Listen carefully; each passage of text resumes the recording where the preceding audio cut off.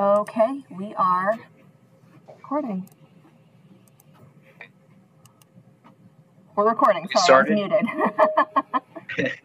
I heard you from over Okay. there. Um, so my name is James Pepper. I'm the chair of the Vermont Cannabis Control Board. It is Wednesday, uh, November 16th. It's one o'clock, and I call this meeting to order. A few comments before we get started. Um, a note to all licensees: please uh, review the tax guidance on our website.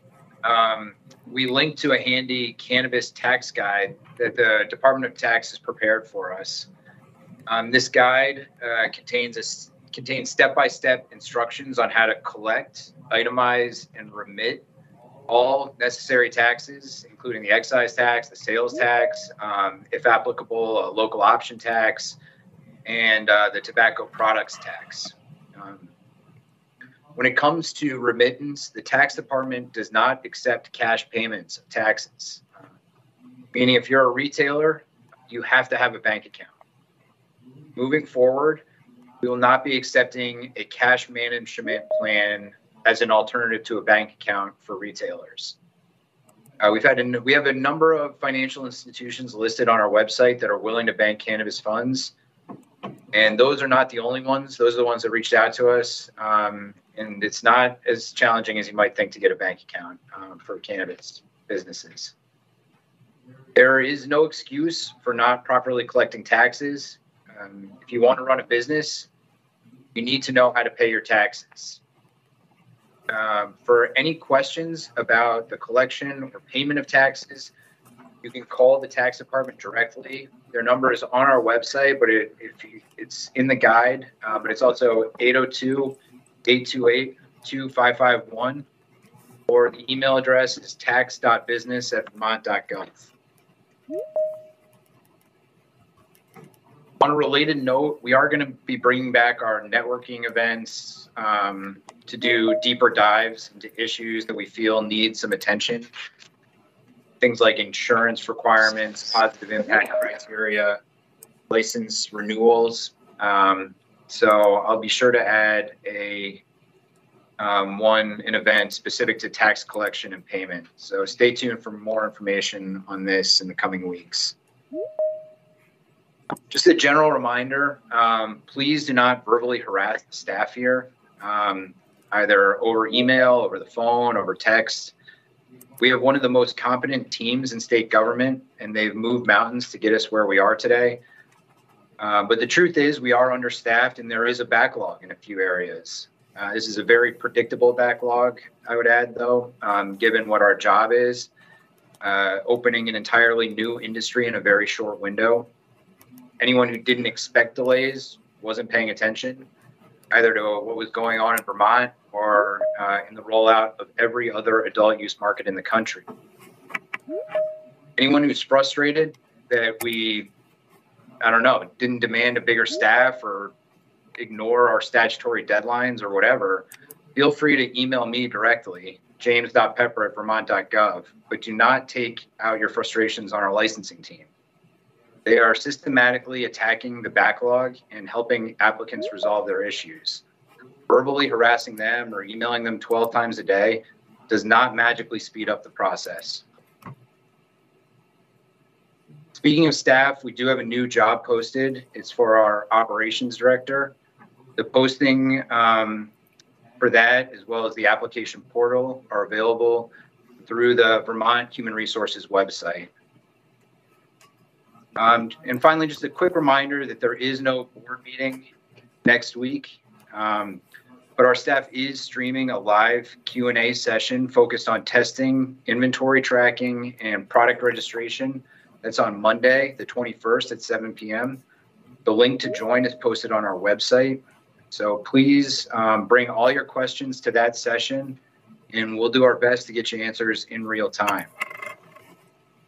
Um, other than that, just need to approve the minutes from our meeting on the 9th. You guys had a chance to look at those? Yep. All right, is there a motion to approve? That we approve the minutes from the ninth- November 9th. Okay, is there a second? Second. All in favor? Aye. Aye. All right. Um, next on the agenda is to review our packaging guidance. Kyle, will you uh, take us through that? Sure. Um, Brent asked us to review packaging guidance. Um, I know that we just mentioned that we're going to be having a Q&A on Monday. Um, I suspect there might be packaging questions, and I know Gary and Lauren um, will be equipped to answer packaging questions if there are. So it kind of made sense to um, go over this guidance again. Again, this guidance has been up on our website since July, and I think I've fielded more packaging questions than a lot of other subjects, um, even though that there's guidance for it out there. I recognize that there is constant confusion. Um, I think we're getting to a better place, but um, please remember that our, our public comment session at the end of this meeting isn't the appropriate time to ask your questions. But if you have questions that arise as we kind of work through um, a couple web pages that I have pulled up, um, please save those questions for Monday. And, and Nellie can correct me if I'm wrong. I think that we're asking for questions ahead of time if you have them by the end of the day tomorrow. Okay. So guidance on packaging. It's been out since July. Um, I really just want to go over the general rules. And uh, as Julie did last week, I'm just going to go ahead and read. To fully understand these rules, please refer to the definition section below. And I'm going to pull up another guidance document once we get to those definitions because it can really help people understand specifically where you need to have child deterrent packaging and where you need to have child resistant packaging and what child resistant packaging actually is. So, in general, packaging that is intended for consumer purchase at a retail locations shall be reusable and shall not be plastic. Examples of reusable non plastic packaging materials include glass, tin, cardboard, and bamboo. This does not mean a vinyl sticker looking like bamboo over a plastic cap, which we have seen. Um, and, you know, things like that get back to us, people. Come on. This rule does not apply to packaging used solely for the transfer of cannabis or cannabis product between licensees. So let's imagine the chairman Colin Pepper for this hypothetical is a grower. I'm a retailer. You're giving me a couple pounds, really awesome cannabis that I'm going to take possession of. That does not need to be in non plastic packaging. You can use vacuum sealed plastic bags. And we just recognize that in bulk, this is even harder to pull off. So we're focused strictly on the point of sale with which a consumer is purchasing something. Consumer packaging for cannabis, meaning flower or pre rolls, needs to meet our child deterrent definition, which I'm going to go down to right here. It means tear resistant packaging that can be sealed in a manner that would deter ch- children under five years of age from easily accessing the contents of the package within a reasonable time and not difficult for adults to use properly. One of the big things that we've been telling folks is yes, you can use a suction top, you can use a cork top, but put a sticker over it and not your cheap one cent sticker um, we're we're thinking something that can actually, you know, present challenges to somebody who is under five from actually twisting that. Um, I know that that's a little ambiguous, but I've seen a lot of folks succeed in understanding what that means. Other states, I know in Canada, they have a tax sticker over the package that once it's broken, you know, it means that that product has been sold. So think think along those lines. Consumer packaging for cannabis products must be opaque and child resistant. Word opaque means not clear glass. You can have some, uh, you know, it's hard to use a description without the word opaque, but but misty looking glass. I don't know. Anybody have a better word for that around the table? See-through. See-through. Yeah, well, see-through would imply that it's clear. Non-see-through. Non-see-through. Okay. We understand that that's a little bit challenging as well. Um, but even if it's glass that has a a a um, gosh, I'm really struggling with word here. It's not completely clear. Um, that means look up the definition of opaque. If I need to pull that definition up on Google, um, we can wander there. But I think everybody here hopefully can work the Google machine at least half as well as we can. Packages and containers that hold cannabis and cannabis products must protect those items from contamination and must not expose the cannabis and cannabis products to any toxic or harmful substance. Honestly, this means just be careful what you're putting your your pack your cannabis um, in. There's a lot of great companies out there. There's your Walmart variety, Amazon, Alibaba varieties of packaging. There's also sustainable packaging options. Both of those sell non-plastic options, but you know, let's let's make sure that we're not putting any other toxic substances um, into these vessels that are containing cannabis or cannabis products. I want to go ahead and read our definition of plastic because I get so many questions. I know our licensing team um, does as well about certain buzzwords that are present um, in this kind of space. And, you know, it's kind of similar to the word sustainability. It can mean, it's a catch all phrase that means a little bit something different to everybody. And I'm going to focus on the word biodegradability because the bio, the word biodegradability is a marketing word that, you know, doesn't always mean as it's what it means as it's conveyed to the average consumer. Just because you throw something out on the side of the road doesn't mean it's going to degrade like a banana peel. So plastic, for the for the purposes of our rules, means a synthetic material made from linking monomers through a chemical reaction to create a polymer chain that could be molded or extruded at high heat into various solid forms that retain their defined shapes during their life cycle and after disposal, including materials derived from either petroleum or a biologically based polymer such as corn or other plant sources. And look, when we went in this direction, I've said this many times, both on the record and off the record, in public setting and to folks that contact me privately about why we chose to include the biologically based polymer portion of this. And that's because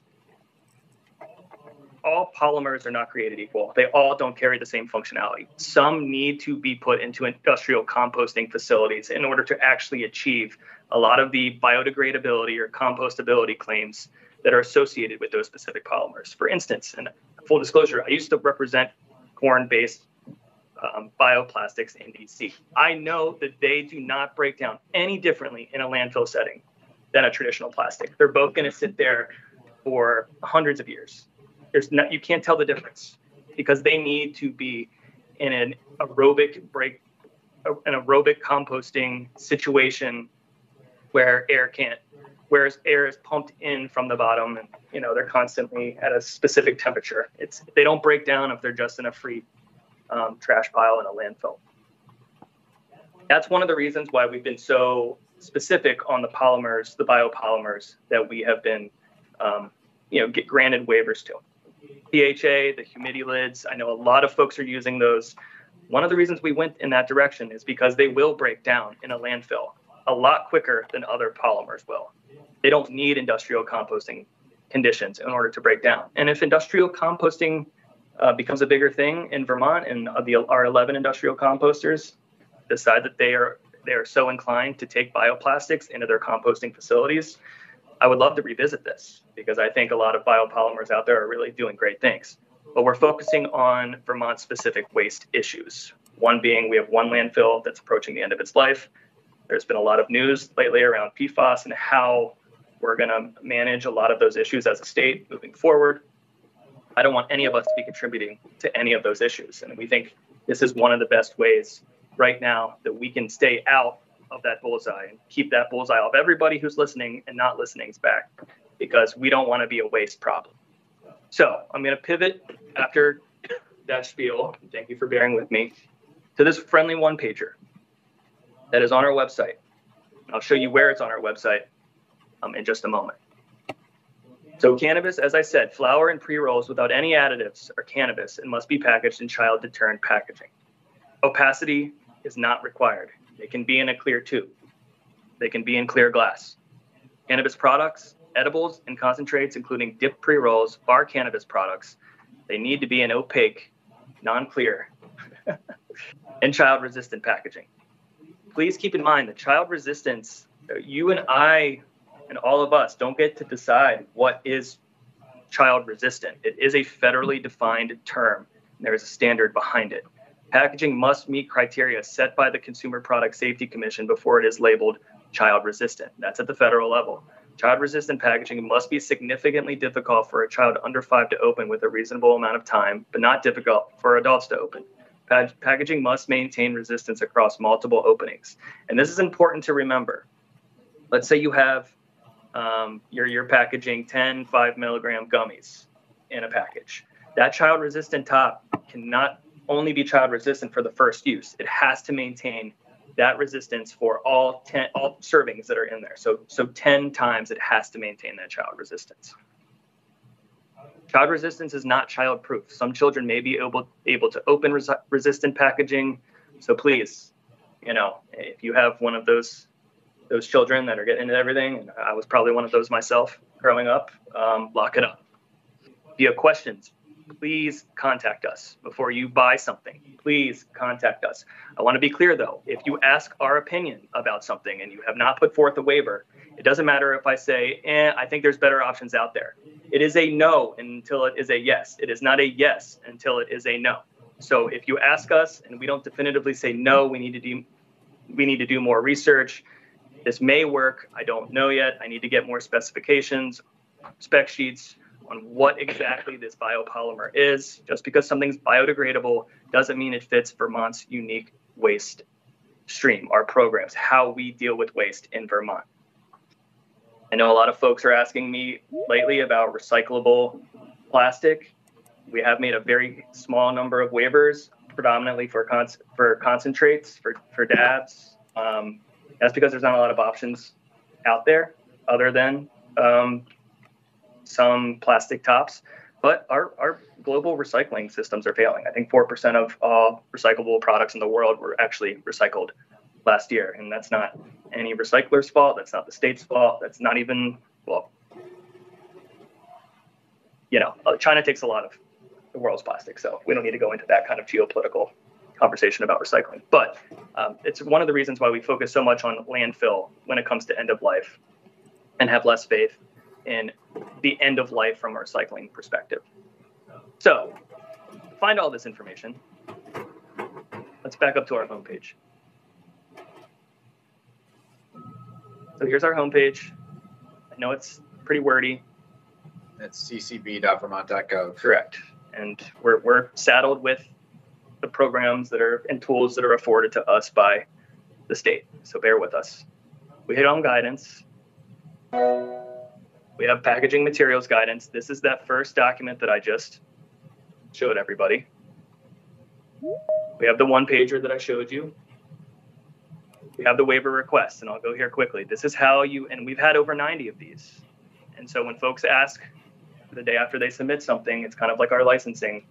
You know, we take the time to do the research, and there are still some outstanding, you know, um, waiver requests in our queue that are a month old because we're taking the time to actually suss out and vet specific polymers. And I'm following up with, you know, some other contacts in the biopolymer space to kind of understand truly how things are breaking down.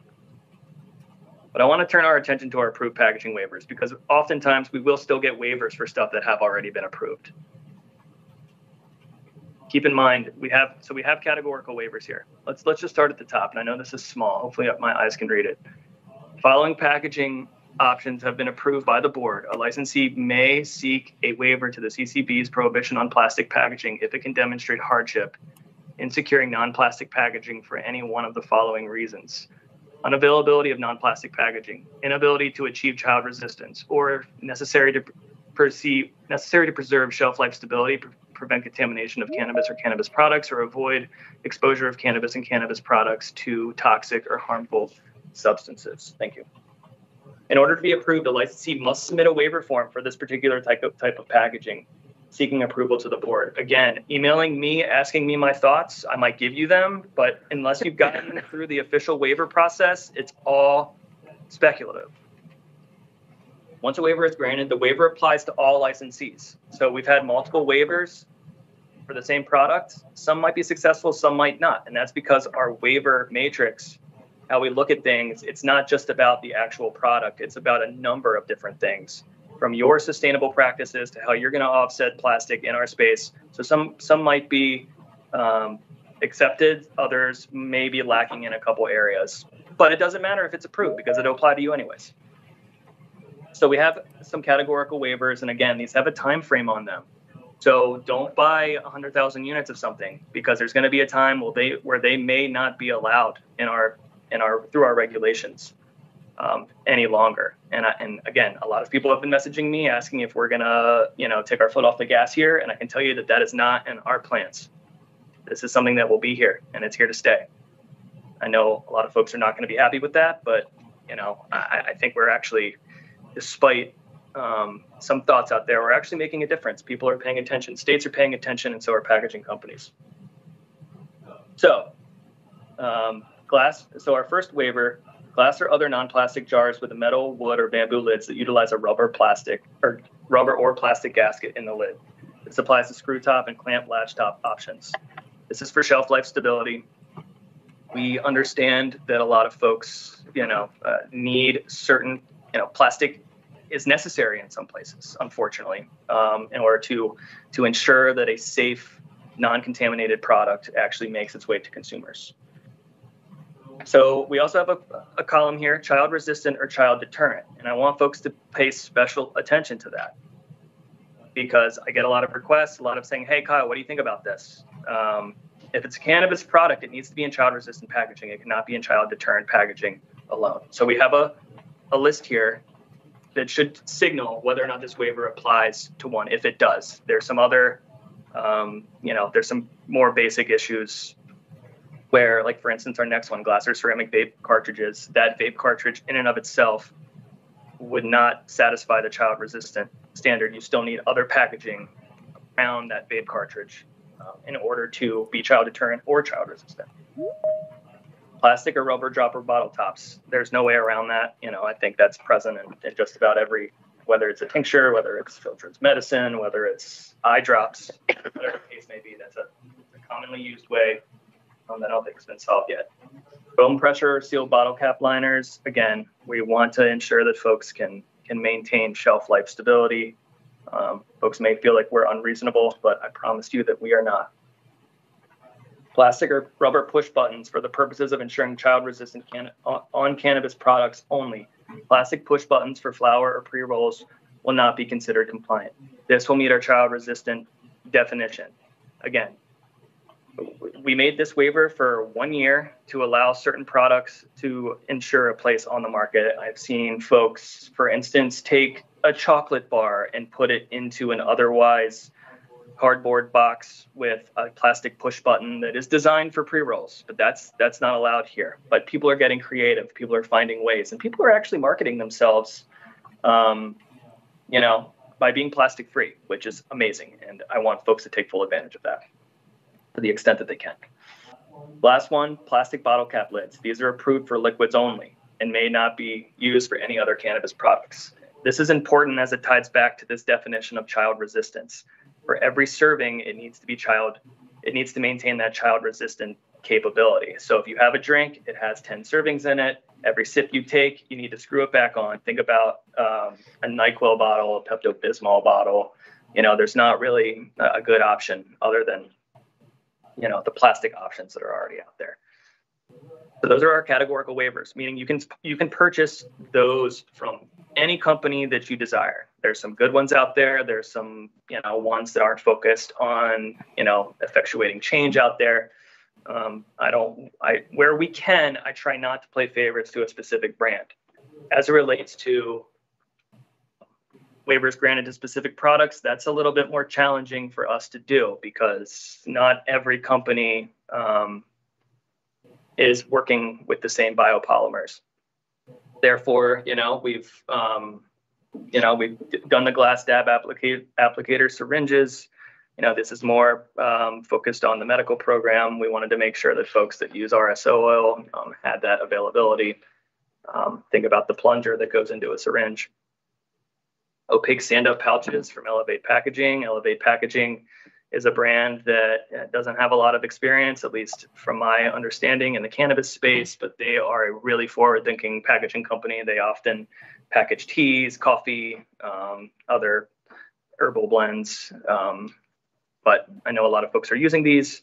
That's great, but it's important to remember that they're child deterrent. So you cannot package gummies in Elevate packaging bags. You just can't. They're not child deterrent. I've heard feedback from some that say, how can they even, you know, come close to child resistance because they tear so easily. And it's because we've the only state in the country where you don't need child resistance for flowers. So the humidity lids, lots of people are using these.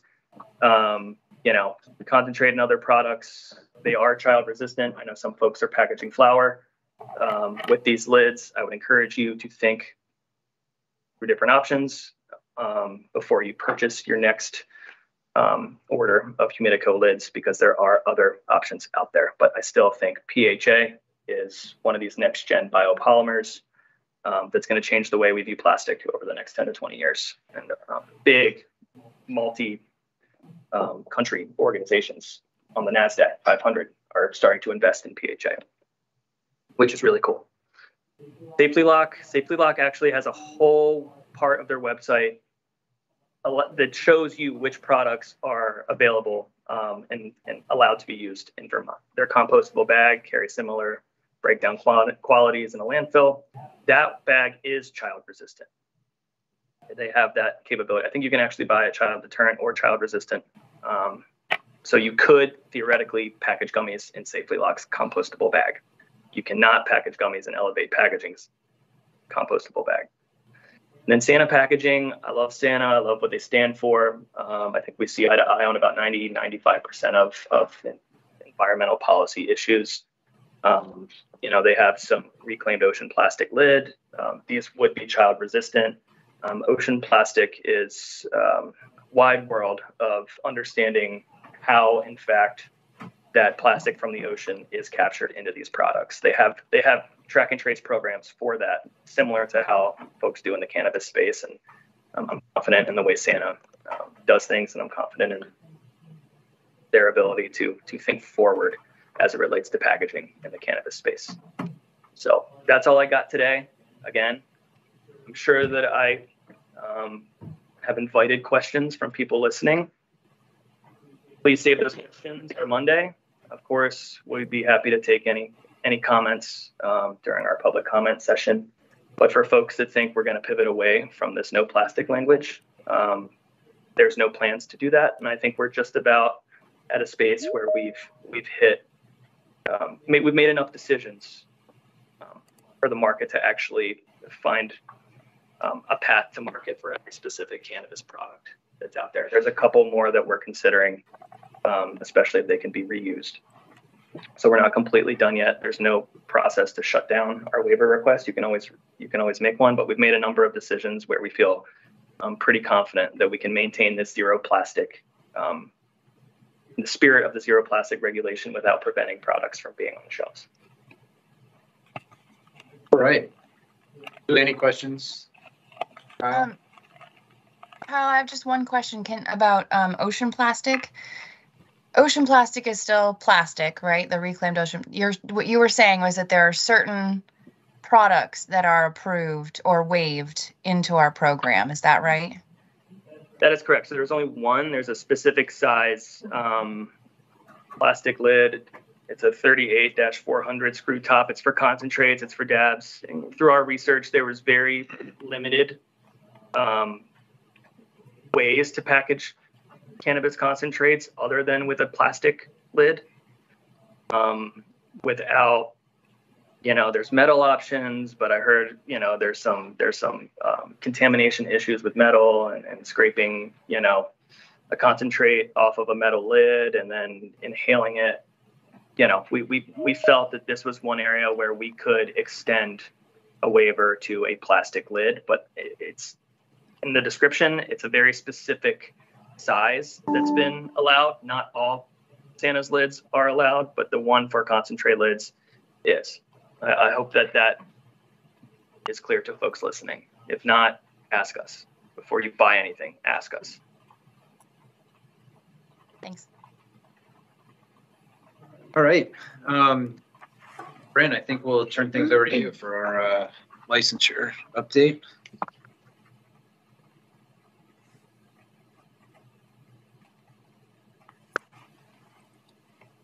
Okay.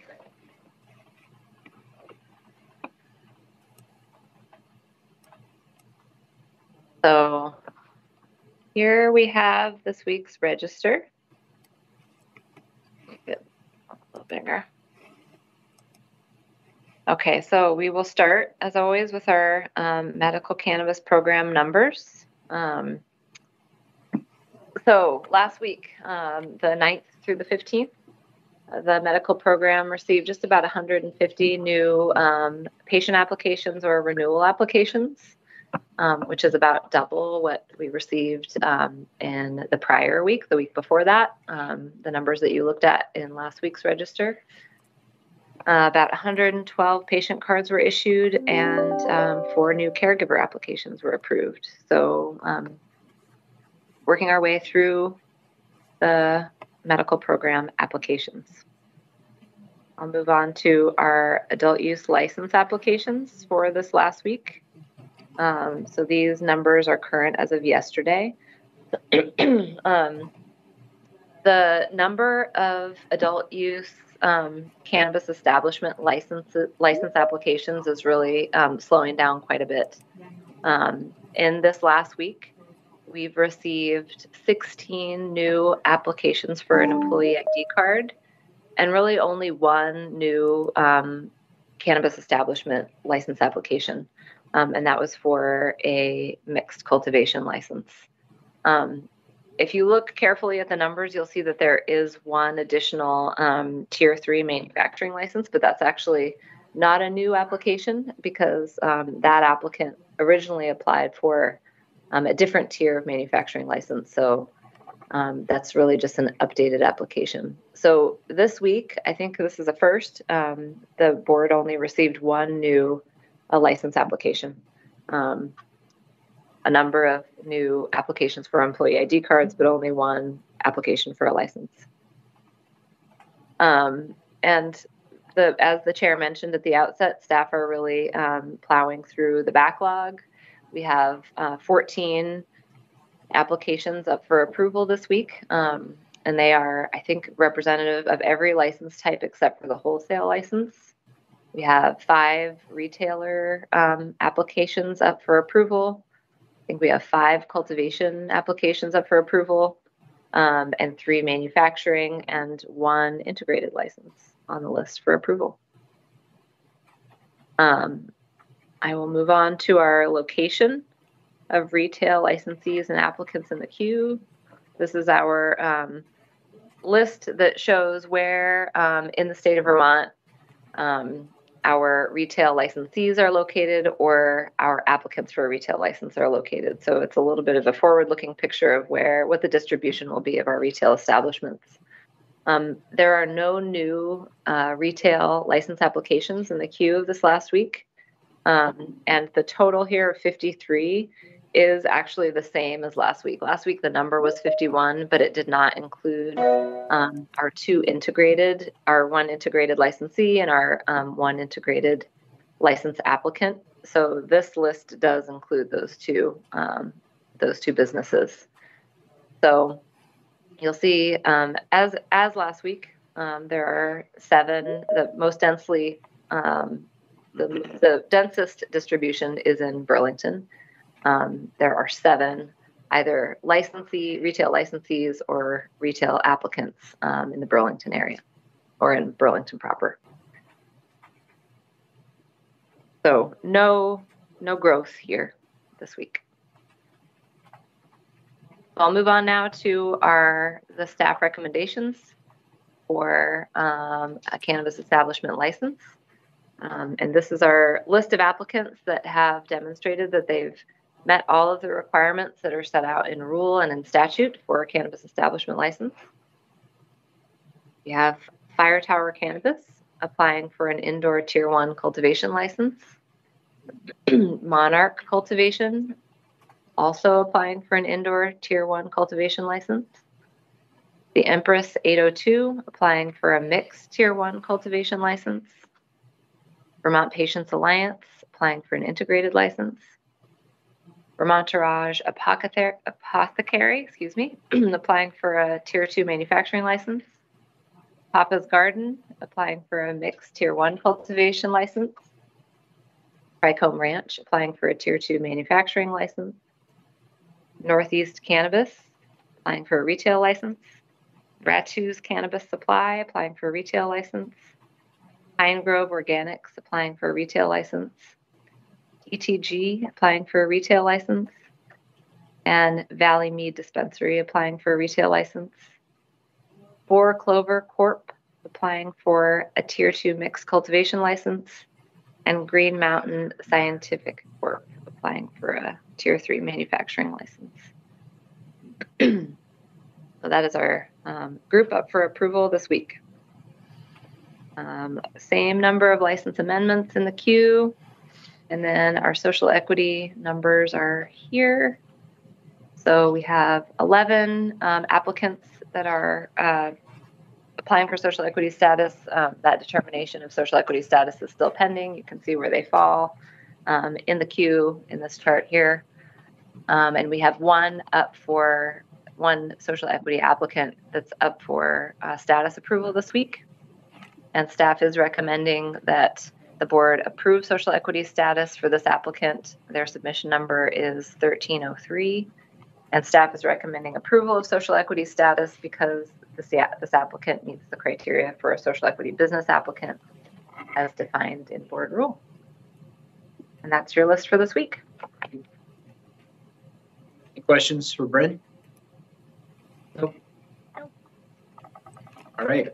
Um, is there a motion to approve the staff recommendations?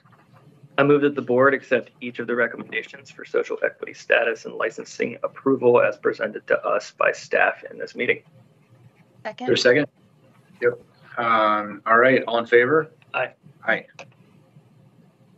Great. Um, all right then. Well, why don't we move to public comment?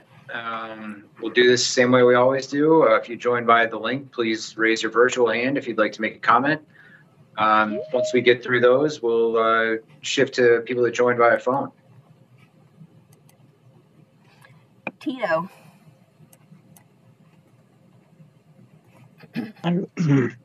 Excuse me. Um, hi there. Hope everybody's having a great day. Um, I just wanted to uh, also add on to what um, Chair Pepper was saying about the taxes. Um, he mentioned the vape tax. That's also something you're all going to have to prepare for. Um, that is still officially a thing, even though uh, hopefully we have a path to uh, to having cannabis excluded from it. But that's all. Thank you. Thanks, Tito. David. Yeah, hi. I hope you can hear me all right. Um, I'm David Busby with uh, OpenTHC. I had sent in um, a couple of questions to the compliance email address, and I had even called in and didn't hear back from anyone. And it is a question about inventory lot identifiers, and perhaps that's the kind of thing that'll be covered on Monday. So maybe I'll just come back then. Um, thank you. Yeah, thanks, David. Uh, noted, and definitely join Monday, and uh, and we'll try and get back to you before then. Jeremy. Yeah, thank you guys so much for listening and being here today. We really appreciate you. Um, I just wanted to point out something that maybe not everybody thinks about, and that's uh, maybe the older population, the population with arthritis that has a really hard time with packaging um, opening. I am personally only 30 years old and have arthritis, and it's very hard for me to open a lot of these packages. So I just ask you guys kind of keep that in consideration as we navigate this very interesting market. Thank you so much for your time. Thanks, Jeremy. Anyone else who joined by the link? Dave. Hey, y'all. Um, you know, just going back to your opening comments, James, um, and, you know, just a, a, I don't know, share this with the folks out here on the call. Um, you know, I have a lot of contacts with a lot of members of your staff uh, on a regular basis, both as a licensee and as an attorney for, you know, a couple dozen other people. Uh, and I've always found everyone on staff to be super responsive, super professional, super easy to work with, helpful, trying to make it easier for the rest of us. And so when I hear folks getting so frustrated with the delay that they are engaging in harassment uh, or abusive behavior, I just, I, I, folks don't do this. It doesn't make you look professional. It doesn't make your application stand up better. It's going to hurt you in the end. Don't do it. It's dumb. Be nice. That's all. Thanks, Dave. Anyone else who joined via the link? Eli.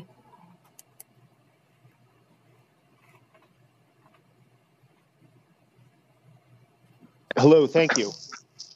Um, just a, a comment on the on the packaging. Um, I think loud and clear on the uh, on the hold the line message.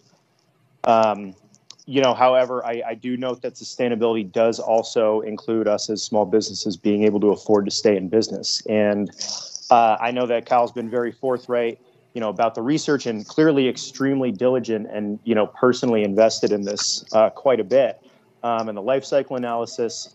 Um, but I don't know anybody else out there drives uh, a diesel vehicle, um, you know, and has experienced the gas go up a gallon and you know a dollar and a half in the last few weeks, uh, because it is at some point unsustainable to ship all this glass all around the country, all around the world, um, for those of us who are are having to buy it.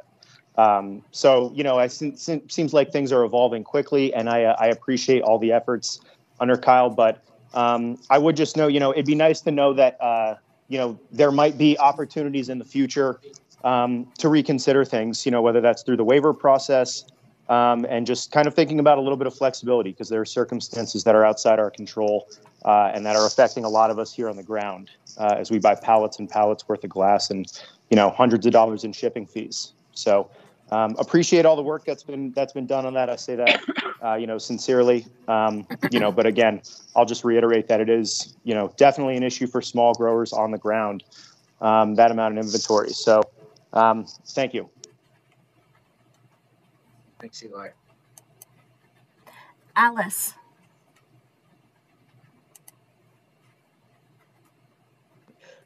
Hi, I'd like to um, second the um, opinion of the person who just mentioned uh, packaging and um, people with arthritis or disabilities that have problems opening the packages. Um, I have this, I usually ask um, the pharmacy to supply my pills or my prescriptions in easy to open uh, bottles. Um, and they usually do that. You have to sign a waiver or something, or speak to the pharmacist, um, or I have to have someone else open the um, pill bottles for me. Um, I think maybe what you could do is have this associated with a medical license uh, or with a, with a medical prescription for patients um, that might need easier opening packages um, and maybe have uh, uh, uh, maybe um, have them get the convenience that way. I do know anything that comes in one of those paper um, can, paper packaging with any kind of um, sealant at the top. I just grab the scissors and remove it, and that's the only way I deal with opening those. So, something to consider. Yeah, thank you, Alice. Anyone else uh, joined by the link, um, feel free to raise your virtual hand. And um, if you join via phone, um, you can hit star six to unmute your phone if you'd like to make a comment. Bobby.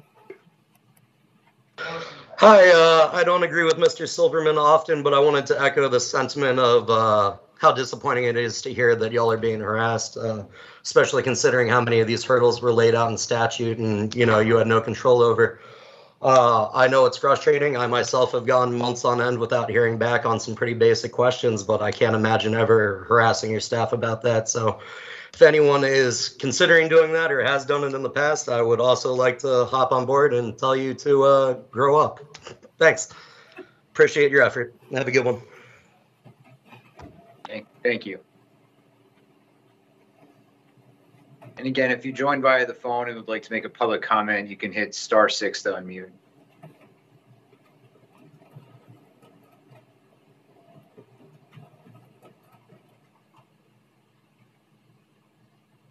Okay, I will uh, close the public comment window then. Um, one thing I forgot to mention at the beginning, this is this information is up on our website, but our application portal is going to be unavailable uh, between 9 p.m. Eastern on Friday, this Friday, the 18th, and 12 a.m. midnight um, on Saturday, 11/19. So down for a little bit less than a day. Um, so make sure if you're working on an application during that window that you won't be able to save it, um, and so just try and avoid the application portal during those hours.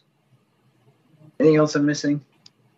No, I just want to respond to a, couple things. I mean, you can also email me if you're if you want to be upset. Don't do it to our staff. Kyle.harris at vermont.gov.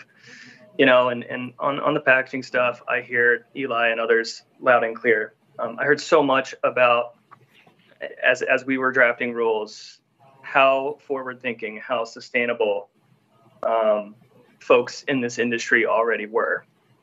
But now it's the time to walk the walk, not just talk the talk. This is a big part of that.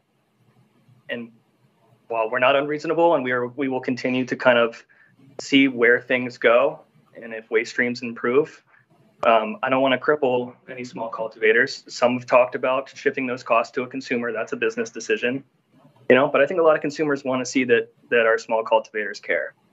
And when it boils down to it, you know, it, it saying that shipping costs and shipping emissions of glass and heavier packaging materials than a plastic bag um, is more environmentally degrading than that plastic itself is like driving down the highway at 75 miles an hour and saying it's windy.